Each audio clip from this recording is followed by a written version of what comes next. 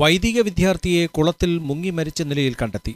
മലയാറ്റൂർ കാരേറ്റമത പള്ളിയിലെ വൈദിക വിദ്യാർത്ഥിയാണ് ആശ്രമ ദേവാലയത്തിലെ മീൻ വളർത്തുന്ന കുളത്തിൽ മരിച്ച നിലയിൽ കണ്ടെത്തിയത്. വൈക്കം ഉദയനാപുരം പുള്ളോൻകര ലൂക്കോസിന്റെ മകൻ മിലൻ എന്ന് വിളിക്കുന്ന ആഗ്നൽ ലൂക്കോസാണ് മരണമടഞ്ഞത്. ബുധനാഴ്ച വൈകിട്ടോടെയാണ് മൃതദേഹം കണ്ടെത്തിയത്.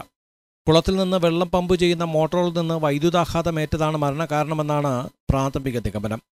ഉദയനാപുരം സെന്റ് ജോസഫ് പള്ളിയിലാണ് ബ്രദറിന്റെ മൃതസംസ്കാരം ഇന്ന് വൈകിട്ട് നടക്കുന്നത്. ഓക്സ് ന്യൂസ് ബ്യൂറോ കൊച്ചി.